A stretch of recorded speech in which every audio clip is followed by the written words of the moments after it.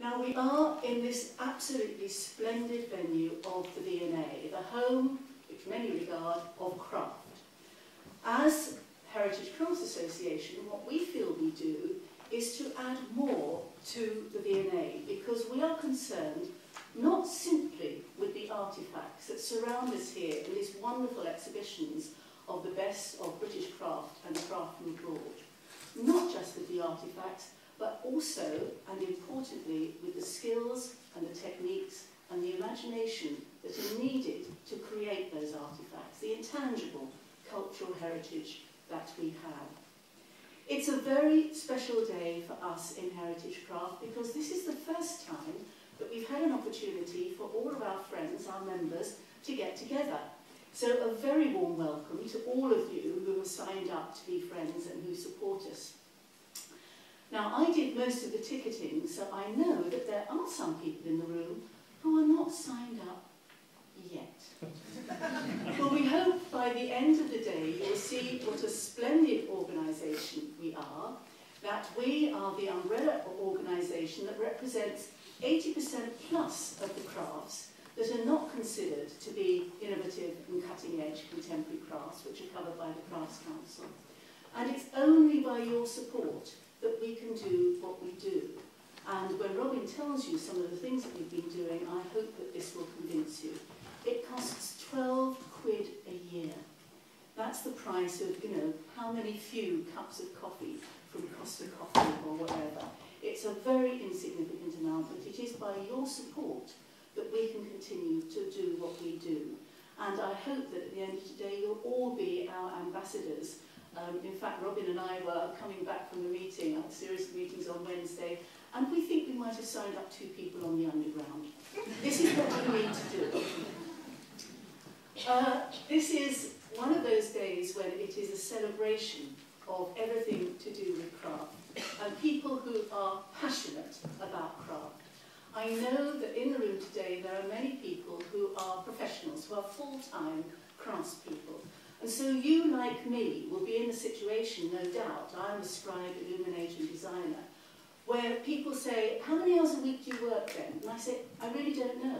Because for me, there is no distinction between work and non-work, between work and pleasure. I love what I do, and I do it all the time. And so for me, it isn't considered to be work.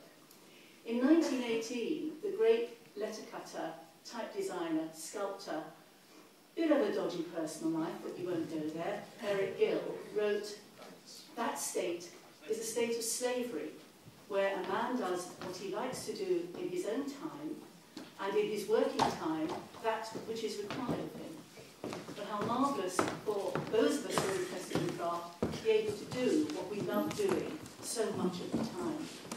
And in fact, one of our patrons and a speaker later this morning, Alex Langlands, wrote on the subject of craft and the importance of craft that I just wish we could get carved in stone and put side, outside all those buildings of people who make decisions. And he said, craft should be about pleasure and therapy as well. There are few that doubt the value and worth of a creative element to anyone's day, and the ritual use of hands and mind in the formation of both a functional and beautiful object can serve only to relax the mind and improve the body. Now this is what we need to do to get craft back into schools and to get craft courses back into training. So today is a day about celebration and passion, and there are few people who are more passionate about crafts than our chair, Robin Wood. Many of you will know that he is a consummate craftsman, turning the most beautiful objects in wood using a foot-powered lathe. I first met Robin two years ago when we set up the Heritage Crafts Association. We had an initial meeting to say, well, is there a need for this? Are we just wasting our time? Is there a purpose? And once we had sorted out the things that we thought were most important, our aims, objectives, what we wanted to do and so on, we then came to the thorny issue of who was going to do what. Now, those of you who have served on committees will recognise this moment because it's the moment where certain people become really interested in that dot on the floor. And they carry on looking there until all the jobs have been allocated And then they come back to the committee meeting again. Well, it wasn't quite like that. Heritage Crafts is a group that I've been involved in that is unlike almost any other group. Because without a doubt and with one voice, we knew that Robin was the ideal person to be our chair. It is both the breadth and the depth of the knowledge that he has. And I can give you an example of this in that we saw John Hayes, the Minister for Business and Skills this week. We virtually sat on our chairs when he threw a googly. So what's the state with reed thatching now? Is anybody, is anybody doing reed thatching? One, five, ten? Without blinking an eyelid and a straight back, bat, back. Got it. I have a cricketing husband, so I have these cricketing analogies all the time. I have no idea what they mean. um, he said, this is the state of reed thatchers and this is the state of straw, straw thatchers. Well, I didn't know there was a difference. So this is the person that we have leading us, and I'm convinced that it is because of Robin and the way in which he leads us as a team that we've made as much progress as we have in the few years that we have been running Heritage Crafts Association. So he's going to tell us a little bit more about the association now.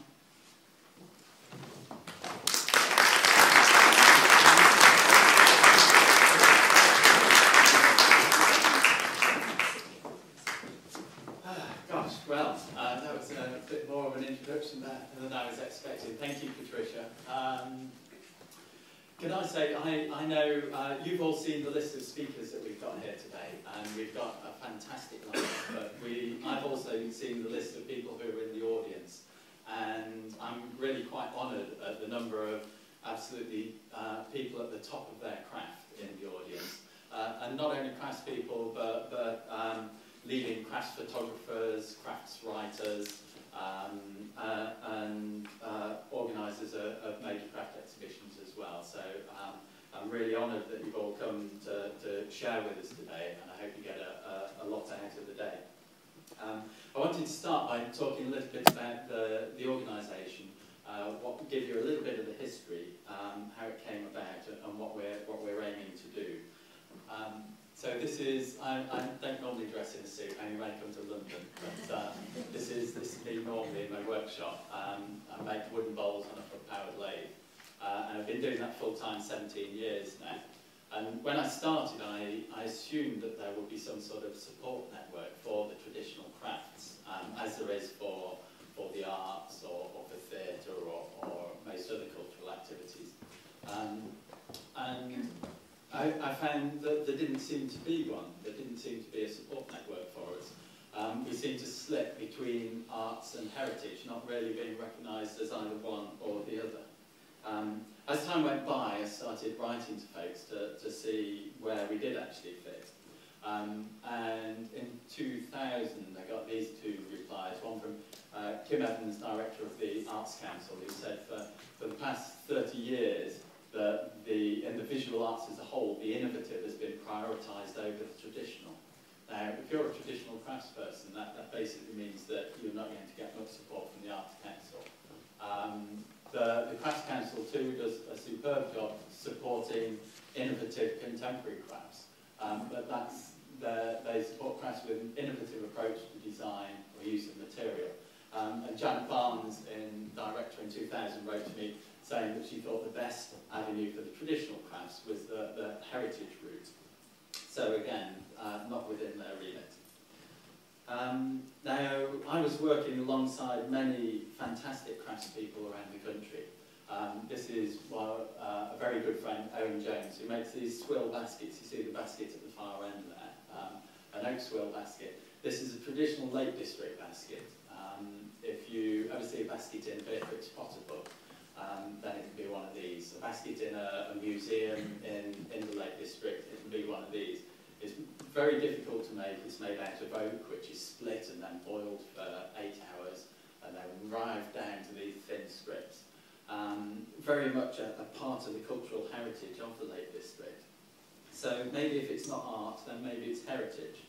Um, but the, the organisation that looks after heritage in England is English Heritage. Um, but I soon found out that their full name is actually the Historic Buildings and Monuments Commission, and that gives a very clear idea of what their remit is. So, um, and, and that tends to be the way that heritage has been viewed in, in England um, is as buildings and monuments rather than the living heritage of, of skills. Um, I'm also quite interested, I, I've worked alongside many rural people like Owen, but I'm also very interested in um, town-based industrial crafts. And this is an area which is probably even more under the radar than the, the rural crafts are. Um, this is Ernest Wright and Sons Scissor Makers in Sheffield, where there are, there are three guys left there, all over 65, making scissors. Um, still going into work just because they love making scissors and they make the most beautiful, beautiful scissors too. Um, but all over 65 um, and a potentially dying craft. This is Trevor Ablett, also in Sheffield, making simple working pocket knives. Uh, he's 70, one of the younger pocket knife makers in Sheffield. and, uh, and he still turns out 100 pocket knives a week. Simple working pocket knives, beautiful things. Um, so that to me is a part of the cultural heritage of Sheffield. But Sheffield Council have a culture plan which doesn't mention either steel or cutlery, which to my mind is a bit like Stratford having a culture plan that doesn't mention Shakespeare. Um, quite incredible. But that shows where we are. Um, now this is coming forward to, uh, this, this photo was taken two years ago, um, and it was really the start of the, the Heritage Crafts Association. Uh, on the right there is Brian Crossley, who's here today. He's uh, Secretary of the Association um, and has long been involved in, in the Basket Makers Association. Uh, and I met with Brian on this day two years ago with, with the idea of setting up a traditional crafts association, an umbrella body for all of the traditional crafts. Um, and we, we met halfway between us at the workshop of Mike Turner, who I'd heard about, who was the last civil riddle maker in the country. Um, Mike at that stage was 64, he was going to retire uh, within the next year, and there looked to be very little prospect of him finding anyone to take the business on. Um, so it was a bit of a sad day in some ways, but we came away feeling really committed that, that we needed to do something about this situation. Um, Brian had actually been working um, at the time on the crafts blueprint alongside Patricia, which is, um, and, and between the three of us, we then contacted various friends who, who we felt were influential in the crafts world um, and formed the first committee of the association. So having formed the association, we, we, decide, we had to decide what, what our remit was going to be, which crafts did we cover. Um, and we, we decided that the, the most important thing was hand skill, and that, that um, rather than uh, design, uh, designing and production being separated, we, we um, hand skill at the point of manufacture was, was crucial. Um, we, that, that includes various craft industries like the scissor making, where there's a lot of, or like um, saddle making in Walsall, for instance, where there's a lot of skill at the point of manufacture. Um, the crafts we were interested also mostly made useful objects, rather than um, the sort of artistic, sculptural end of the craft spectrum is already very well looked at by the Crafts Council. So we're interested primarily in useful objects. Um, and many of these crafts are local or regional in nature, so cut-through in Sheffield, swill baskets in the Lake District, um, saddle making in Walsall, pottery in Stoke, shoes in Northampton. Um, many of our towns are actually where they are because of a craft industry. Um, that's often not realised. And probably most important of all is that heritage crafts are alive and developing. Um, now, probably one thing that people have questioned is why we chose to call ourselves heritage crafts, because the word heritage, as you've seen in the UK, has been linked with backward-looking museums, um, preserving things in aspect, and we're anything but that. The Heritage Crafts Association is totally forward-looking. We believe there's a future for these things. Um, uh, and crafts, traditional crafts have always developed new markets using the old skills um, and that's what we're about. Um, so to share a little bit of our, our vision for where, where we hope to go with the association. Um, this is Trevor Ablett on the right with his pen knives and Jon Henley who's going to be joining us hopefully later in the day from The Guardian. Um, I took John to see Trevor and he did a, a write-up on his work. Um, and after that appeared 18 months ago, he had a, a run of orders um, and still has a six months waiting list for his pen knives 18 months later. So we want to, oftentimes just a little bit of promotion can make all the difference to these things. We want to bring them out and, and show people um, show people what is going on out there. And there is tremendous demand from the public and, and, um, and a good response for these traditional crafts. Um, I guess also, I, if I was to have a, a big vision for where we're going, I like to think about what's happened over the last 20 years in, uh, in terms of local food production. Um, I used to, 20 years ago, there was a book came out, uh, Henrietta Green's Food, Lover Food Lover's Guide to Britain, which I used as a Bible and used to travel around finding little local cheese producers and fish smokers and things. And back then, it was completely cranky, alternative, quite weird, frankly. And I feel that's about where we are with traditional crafts now. We're definitely alternative counterculture. Um, and over that 20 years, then, alternative, local, organic food production has become absolutely mainstream. It's on the telly all the time, celebrity chefs are using it, and I believe that's a sort of growth, that it, potential that we have in traditional crafts.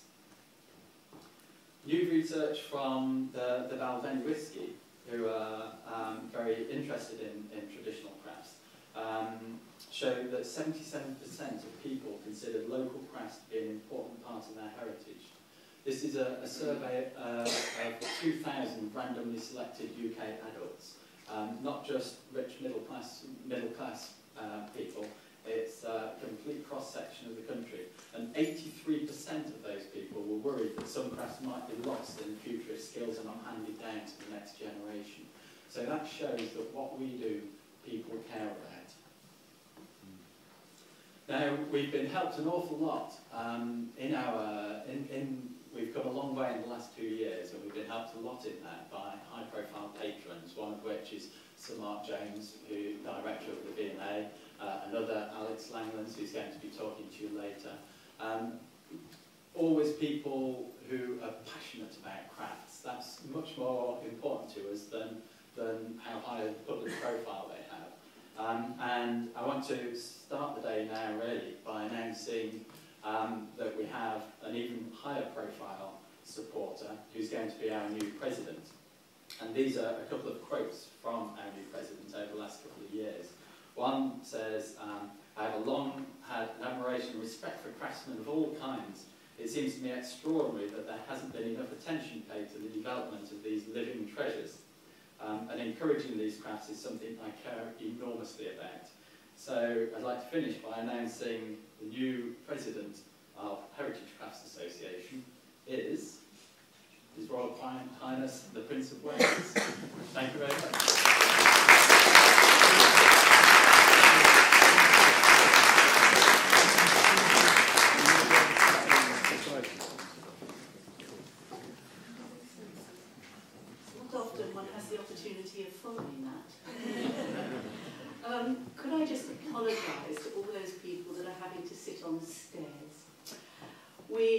um, made a decision to take out some seats because we were banking on the fact that not everybody would attend because no one ever always attends these things.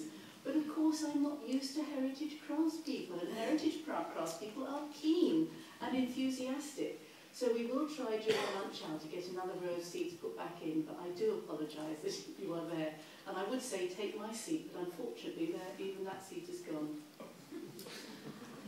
Um, there was a real buzz that went round the ether when we exchanged emails when we heard that Mark Henderson would kindly agree to be our guest speaker today.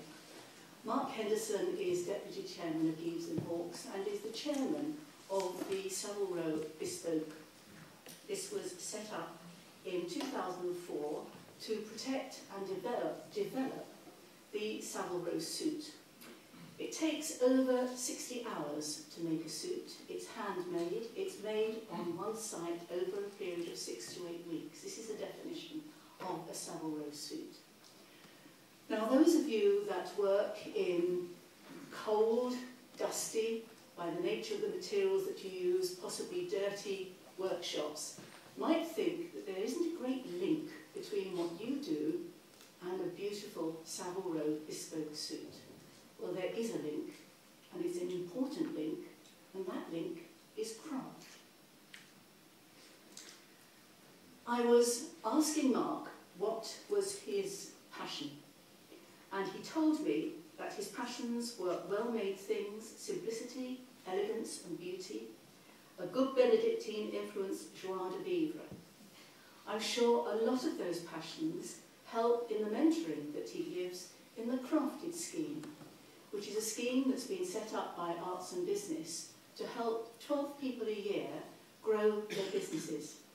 And I have a feeling that the Arts and Business website, where I looked a couple of weeks ago, must have known that our theme was craft and passion, because this is what they say about Crafted, which is this scheme. Crafted is a mentoring programme passionate about connecting the skills of those who have built successful businesses with those who have the potential to do so. Others of Mark's passions are beekeeping, though he describes himself as a not very successful beekeeper. But he is ace at medlar jelly and marmalade. so over to you, Mark.